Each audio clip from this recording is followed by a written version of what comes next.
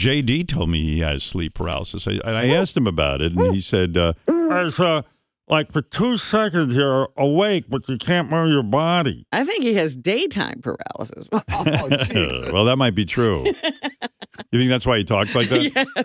Can you describe it? I mean, honestly, in a serious way, I, I've never really heard of this. So I'm, uh, yeah, I'm laying there and I like wake up, but uh, my mind is awake and I know. Are I'm your awake. eyes open? No, my eyes are closed and uh, and I and I can't move. Like I'm still sort of dreaming a little bit, but I'm awake and I just can't move. And you say you try to will your body out of bed and you can't move any part of it. Yeah, sometimes I can like feel myself like slowly moving or whatever, and then all of a sudden I'm able to jolt, jolt myself, you know, awake. It you- jolts Yeah. and you jolt. Yeah, Do you get scared? Of course. Yeah. Because sometimes like it's uh, you have a hard time breathing, or I have a hard time breathing too.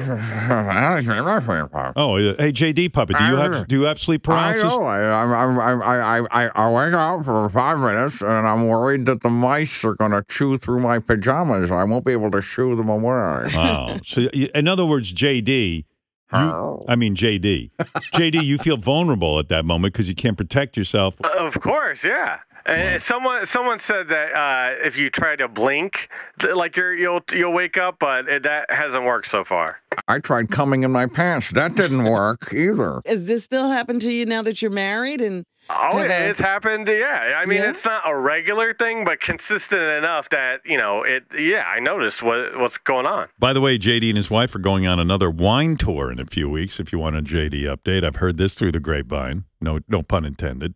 JD, now that you've visited several wineries, can you recommend a good white wine for the people in our audience? A good white wine. Uh, I mean, I, I love a Riesling. Uh, uh, I like this uh, Kung Fu Girl uh, Riesling a lot. Kung Fu Girl? I Kung Fu Girl, I, I gotta look it up. I think that's what it's called. Kung Fu Girl Riesling. yes, l- let me double check that. I think Riesling is a sweet wine, is it not? it, it is a sweet wine. Yes, very good. It doesn't have to be sweet. They're dry Riesling. Either. Look at you two. The ones I like are sweet.